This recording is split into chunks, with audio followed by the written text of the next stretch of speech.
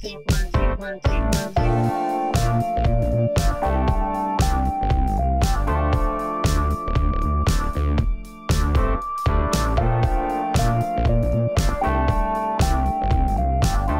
Greetings from Tokyo, my dear, dear friends. This is Daisuke, and I very much hope that this video finds you well and in very, very good spirits wherever you are in the world.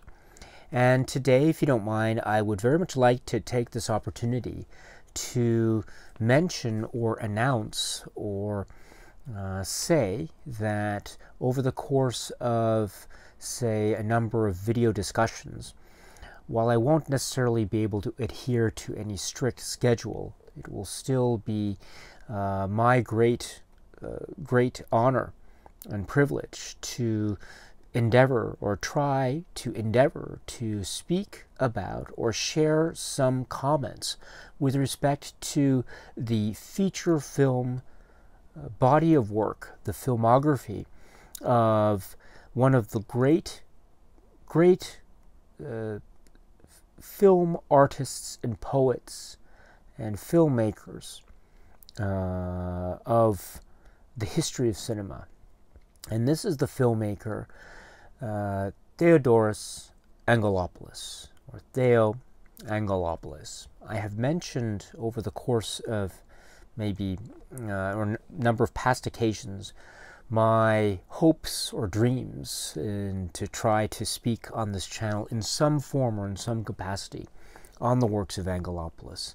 And so, what I'd like to say or announce today is that uh, let us begin our journey with respect to the cinema of Angelopoulos. So, if you are interested, uh, please uh, join me. And as I say, we will try to focus in uh, a discussion on each of his works, his feature film, feature film length works. The a number of things on this uh, particular topic.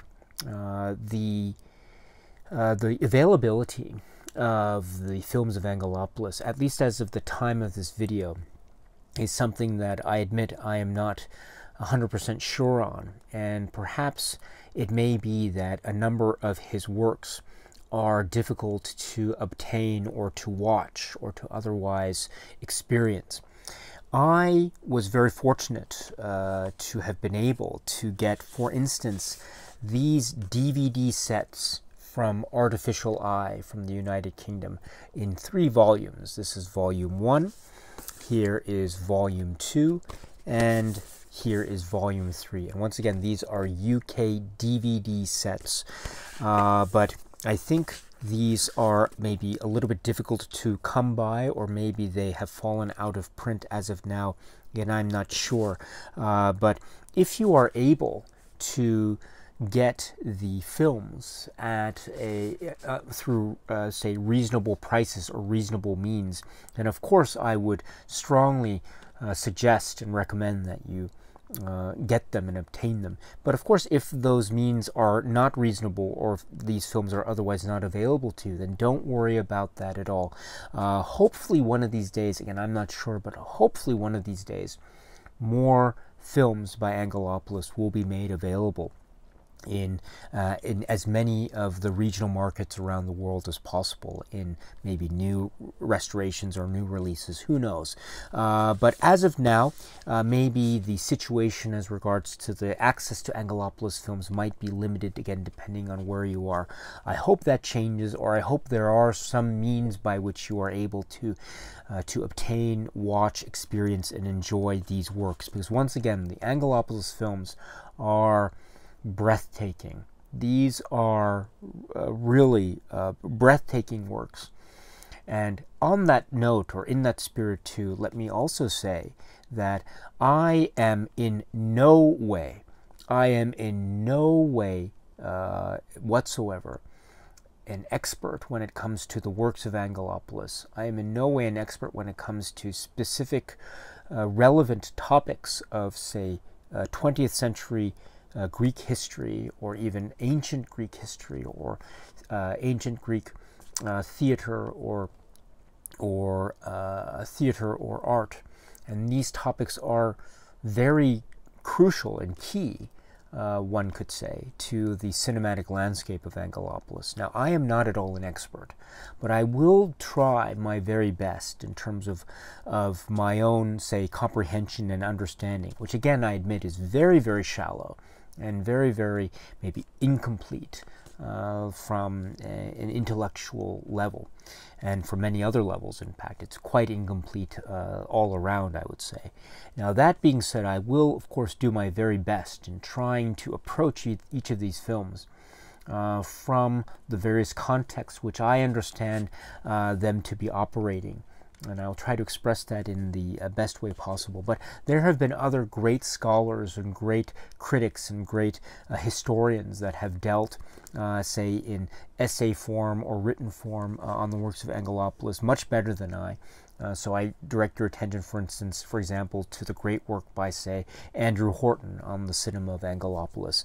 Uh, but in that vein, however, I w- and I should say too that I came to the world of the cinema of Angelopoulos uh, somewhat later in life, uh, and so it this was a journey that was one of uh, quite a a, um, a very uh, profoundly uh, moving type of experience that I had with respect to uh, the first film by Angelopoulos that I ever saw, which is a film called in English the traveling players.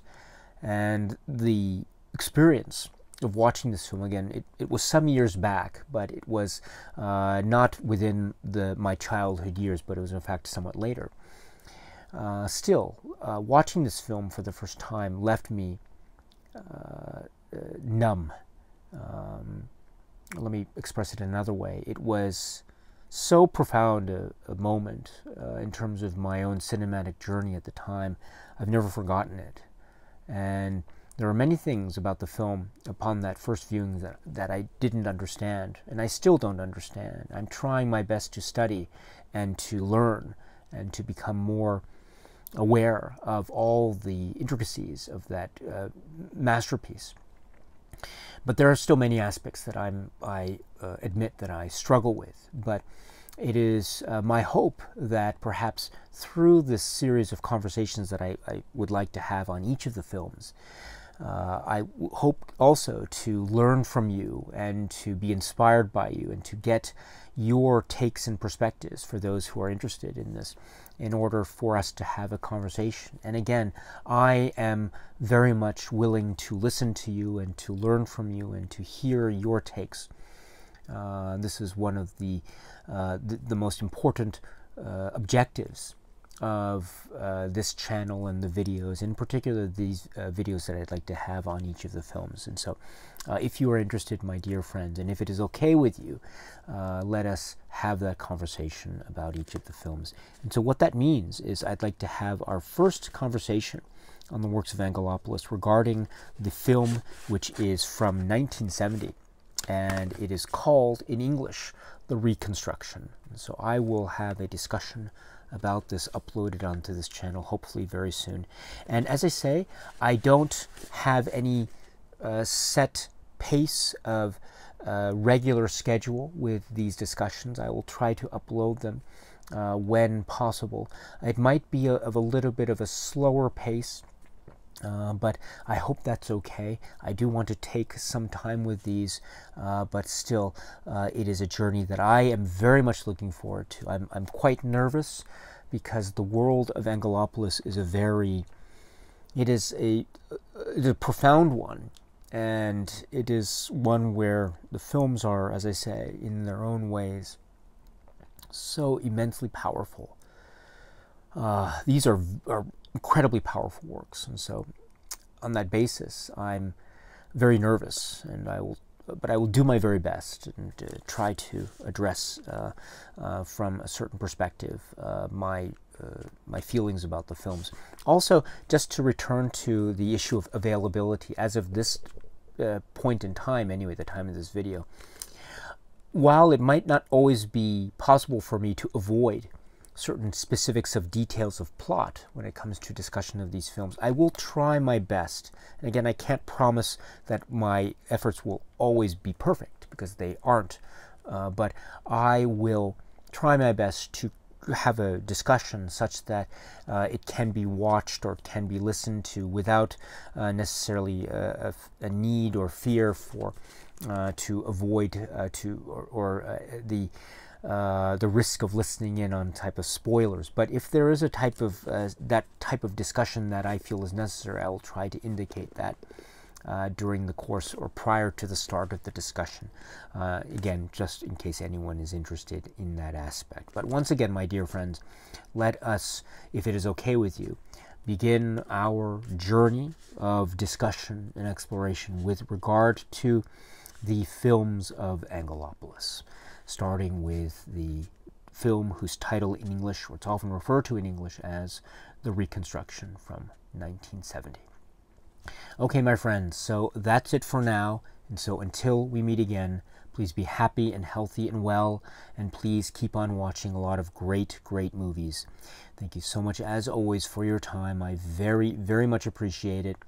Stay strong, stay safe, and cheers.